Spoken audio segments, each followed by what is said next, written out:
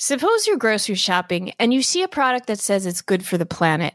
Are you more likely to buy it? If your answer was yes, you're not alone.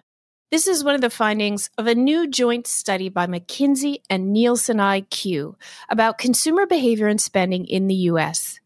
Today, we're sharing an episode from the McKinsey on Consumer and Retail podcast that talks all about this new research. The McKinsey podcast is back in two weeks. Until then, check out some of our recent episodes and be well. So let's meet our three guests today.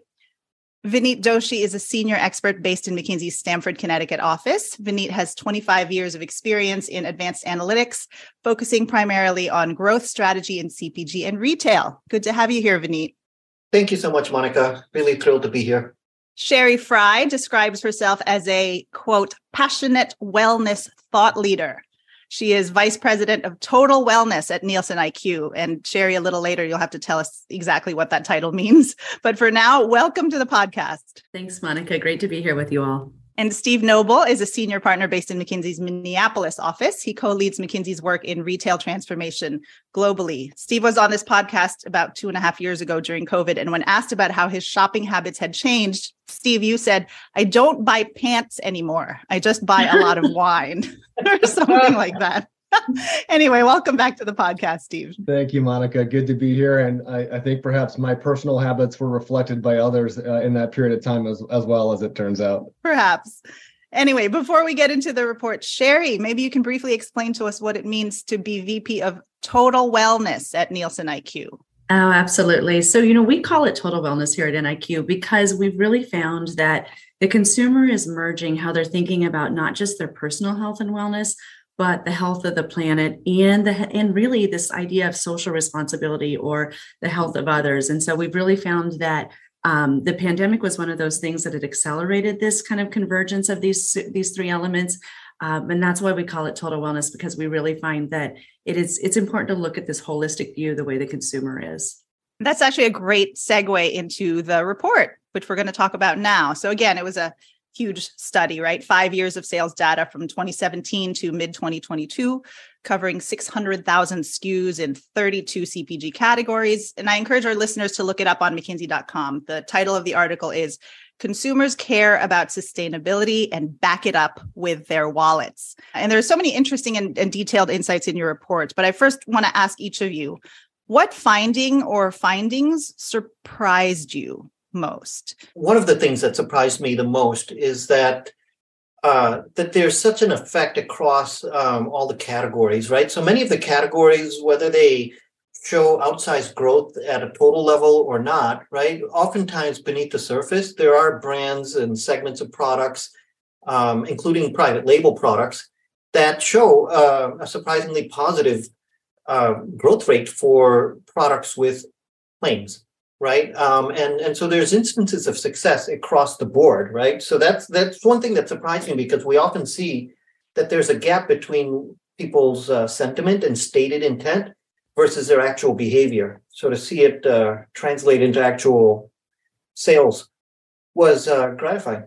I think we went into the research with the hypothesis that um, it would be challenger brands, smaller brands that would be driving a lot of the growth, that would be really driving the sustainability. And I, was surprised to see private label. Actually, I think I was pleasantly surprised to see that private label really was driving, you know, some of the outsized growth. And frankly, that we saw the opportunity across almost all the segments, except for really maybe that biggest opportunity in the medium sized segment of, of brands. But I hadn't really been thinking about uh, private label play, playing such a role. And I think you know, Monica, you mentioned what a massive undertaking this was. I mean, this was five years of data and it was also not just the first time we were where we looked across hundreds of claims, but we looked across all brands, all sizes. And the fact that we looked at private label as well, I think is a really important aspect of kind of what the future of this, this is going to look like for the entire CPG space. As we released the report, uh, I was I was surprised um, and pleasantly surprised of the breadth of the reaction we got, right? It wasn't just US CPG companies that were interested in this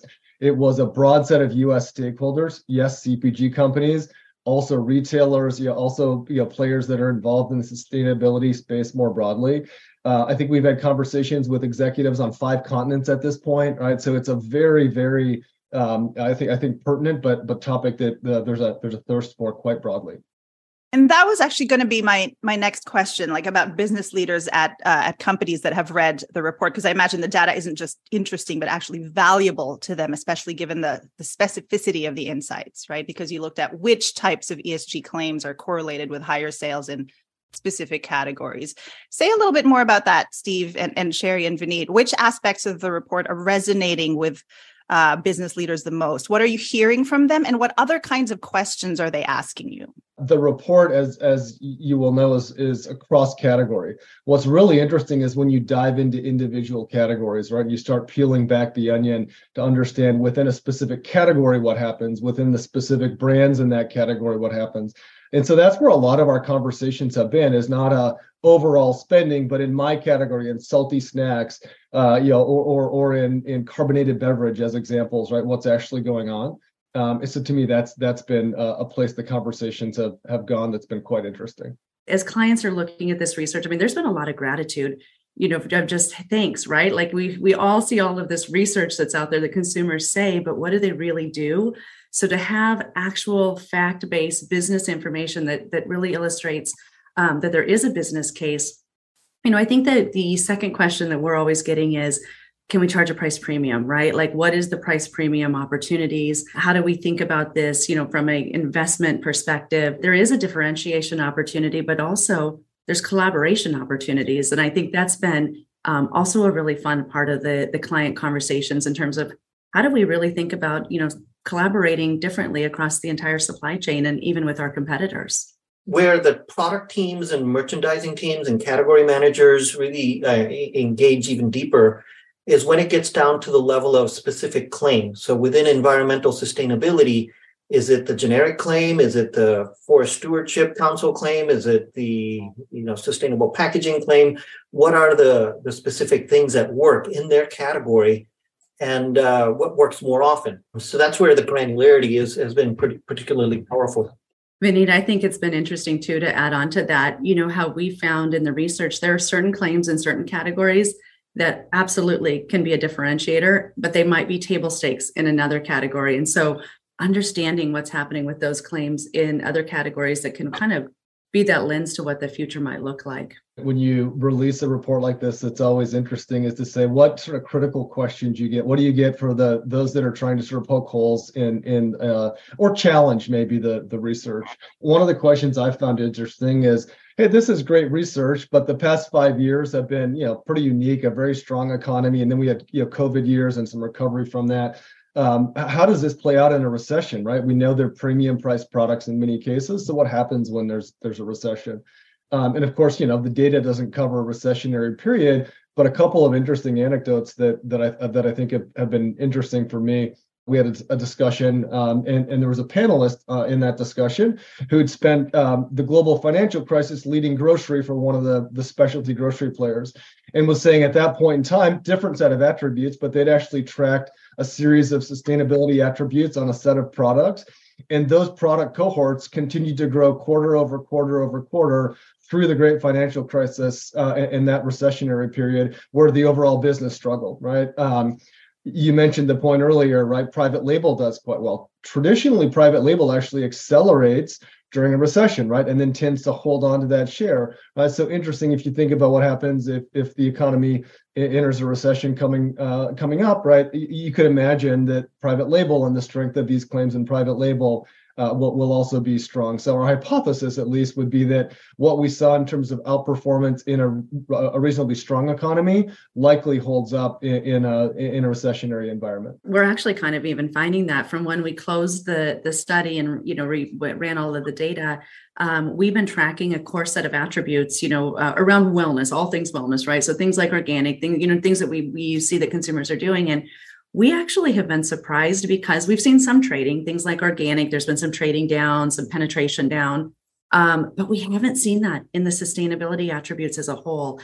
Inflationary impacts aren't impacting sustainability the way that we thought. Um, and frankly, we actually hypothesized that we would see some trading down and some trading out, and we just have not seen it the way we're seeing in some of the other kind of wellness related uh, characteristics to what do you guys attribute this sustained interest or spending, the sustained spending in sustainability? Sherry, like you said, it hasn't dropped off. Is that just, you know, consumers' mindsets are now permanently changed and they are thinking about climate change and all of that? Or is there something else going on?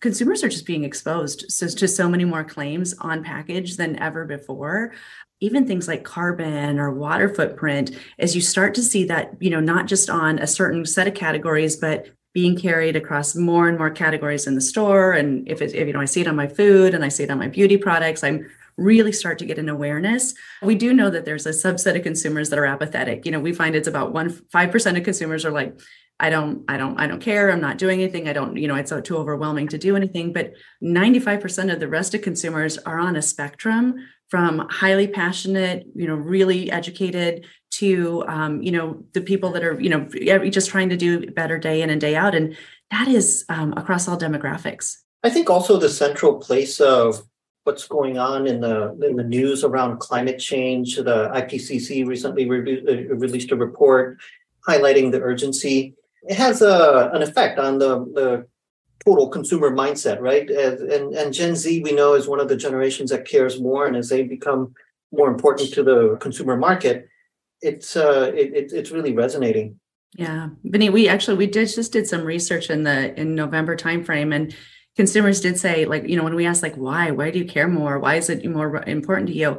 You're right it was media you know that was one of the top ones but the second thing that they said you know that um one of the top three was i'm being affected. You know i'm actually personally being affected by weather impact and climate impact and in fact we you know we saw 61% of consumers that said I actually think the environment is having an adverse effect on my personal health. So they really are starting to tie this all all more and more together. When we looked at the you know the the question of is this disproportionately driven by one demographic group or set of groups versus versus others? Uh, and the answer was generally no, right? We found pretty strong adoption across age and income brackets, right? That said, right, Gen Z does skew a little bit higher than the others. And so you can imagine as that cohort both uh, is relatively more passionate about this and also their spending power increases, right? That is that is one of the drivers. Um, but make no, no mistake, it is not it is not solely a Gen Z phenomenon. It's quite broad based in, in what's driving this. So that's on the consumer side. Are companies doing things more right? Maybe. I mean, you know, there was a time when you thought of a green product and you thought of it as a less effective product? You know, it's interesting. We have when we've looked across the different categories and the the participation rates across categories. Um, we don't always see that every major manufacturer is necessarily leading, right? Uh, and, and sometimes that they're not participating in a meaningful way. And what it means is that they're effectively leaving um, opportunity to drive uh, ESG led impact on the table. Um, and and other times we do see that some of the leading companies are participating in a big way, and and you know they may have some mixed successes at times with that. Not all of the products that they put uh, claims against are necessarily outpacing growth, but on average they are right. So it, it takes a certain um, uh, amount of of uh, investment and risk to to benefit, right? Just like any other commercial decision. Monica, it's a really, I think your your question of our companies doing things more right is a really important question, right? Because the premise of all of this isn't you put a claim on the product for the sake of putting a claim on the product, right? The premise is you have to be doing things more right. You have to be investing in uh, you know, uh, sustainable products or, or organic products or fair trade labor. The, the list goes on. Um, but our, our belief is it's it's companies the fact that they're actually doing things that are being impactful in the ESG realm, and those are then showing up on products. Right? It's not simply a marketing uh, vehicle. And I don't think I've yet had a conversation with a marketing leader. Right? It's not about marketing. We've had conversations with R&D leaders and sustainability leaders and overall corporate leaders, right? Um, and so the notion is companies are doing things more right, and that is showing up in, in, in product. The fact that in the research we found that there's loyalty, you know, there's a higher consumer loyalty to the brands, you know, that have more ESG claims. I think that that um, as we've been taking the, that on and sharing with clients, you know, it's been really resonating where they've said, actually, we're yeah, that's a that's a different way that we want to be measuring ourselves as well in terms of how are we best serving our consumers. And you know, to the point we were talking about earlier, if it also can make my business more resilient, you know, to things like inflation, and I'm, you know, it it meet, meets the needs of my loyal consumers. Um, you know, maybe it's a different way of thinking it from a, from thinking about it from a price premium. That's definitely been uh, a big reaction we've had from clients. You know, you've talked about ways that companies are getting this right. What are some ways that companies are still getting this wrong? Like, what are some sort of, I don't know, low hanging fruit or things that they should be, steps that they should be taking immediately now that, uh, that this data is out there? This research was done based on claims on pac And you know, we didn't validate anything or confirm, you know, or credibility. You know, we just we took the at face value. Um, but I think what we we also find is there are a lot that companies are doing that they're actually not claiming on package. And but we know from a consumer perspective, that's one of the top places that they're saying, I want it. I want it in on the package. You know, I this is where I learn about a brand. I don't go to a company's website. I don't go look at their ESG report. You know, I really want it to be easy, or I want it in digital discovery in terms of when I'm searching on a retailer websites. And I think that the fact that is, you know, there's still a lot of brands who are doing really great things that aren't actually communicating it to consumers on pack. And we know that you know packages, the, the real estate is is very uh, limited, and so it's important. But uh, we think, you know, I think there's a lot of opportunity um, for more brands to be looking at what they're communicating to consumers on that uh, point of sale on the, the purchase there. One of the, the outstanding questions that we'd like to look into is whether the claim has a greater impact when it's shown uh, on the front panel as opposed to being a smaller logo on the backside. Monica, to your question on what are companies missing, potentially one is that you know, some companies appear to be taking a wait and see attitude towards, well, let somebody else try it first, um, and and we'll follow. And we see cases where the, the first movers tend to see a greater advantage and a sustained advantage. So being an early mover has its advantages. The thing I've seen in terms of where some companies are are perhaps missing the mark um, you, we look at prevalence of, of claim, right? So how often is a claim showing up on your on your product? Um, and, and, it varies quite a lot by category, as you would have seen in the research. But when you click below that, you'll see even within that average, companies are taking a very a very different approach, right? And our belief is this isn't about a silver bullet, pick one product in one category and and and go big on it, right? It's about a portfolio play that says if you believe in this, you've got to do it across enough of your your product portfolio that it that it shows up and resonates at that level with with consumers. Doesn't mean every one of those products is going to drive incremental growth, but we believe on average they will. And we see some companies yet that have you know sub one or two percent prevalence of, of of sustainability being built into their products. And so I do think doesn't mean it needs to be 50%, but I do think there's an opportunity to be a bit more bold with some of this research uh, at your back to invest across the portfolio. One of the other things in the research where we found that companies that were playing across more than one pillar, so they had claims in animal welfare and environmental and packaging you know that they would see two times the growth. I think that's you know probably monica another area of opportunity where um, it is this kind of signaling i think to the consumer that we really are you know we're, we're in we're authentically in this space.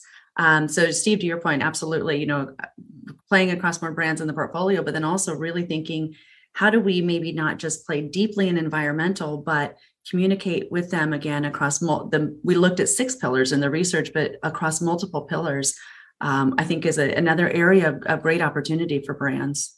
In an environment with lots of uncertainty economically uh, you know sort of threat uh, and talk of, of recession coming up do companies sort of retrench a little bit and say you know as much as we'd like to invest in this we just can't do it right now? So there's a little bit of concern there. My my point of view at least would be when you look at at past uh, recessionary times, the companies that stuck to and invested behind the things that they knew were important to their business, driving customer experience, driving growth for retail, investing in front lines, the companies that stuck to it and did those things came out much better and enjoyed not just better performance in the in the year or two after that period, but in the 10 years after. Right. And so I feel like this is a time where doing this well now sets you up for the next decade uh, of success um, and, and, if you fall into the trap of saying, you know what, we can't really afford to do this right now, I think the opposite could be true, right? That you fall behind for the next decade. And so um, there's a bit of a concern that, uh, of how much do companies lean into this, but I'm certainly hopeful. And I think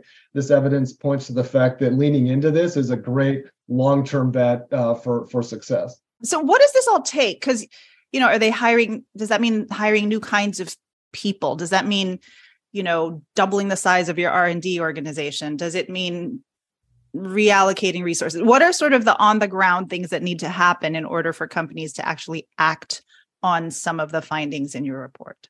I think maybe first and foremost is um, connecting the dots across the organization. So i yeah I, I still see a number of some companies do a great job of this right?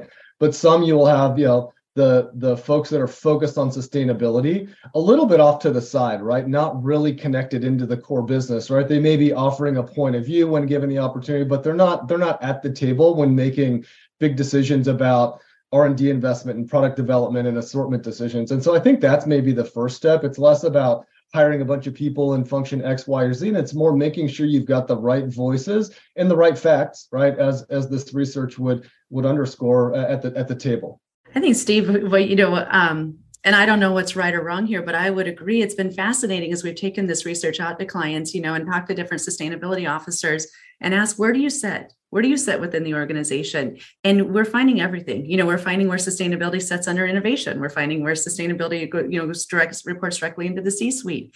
And I don't know, you know, what's the the right or the wrong, but I do think you're absolutely right about um, the integration of it. What we've seen in a best in class kind of approach is to say that, hey, you know, let's bring a cross functional team of product designers, marketing people, sustainability experts together and say that what are the possibilities, right? And test it with consumers in a light way, right? It doesn't have to be a nine month project, right? It could be something uh, uh, somewhat simpler to say that let's let's put, pull together what's possible on the packaging, on the product, on the claims, certification, and and even test it with consumers and try to bring it to market more quickly.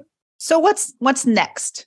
What can uh, people look forward to on the consumer sustainability front?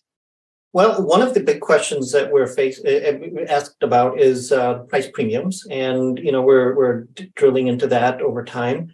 Um, another has to do with how have things changed since June of 2022. There's been a lot of inflation.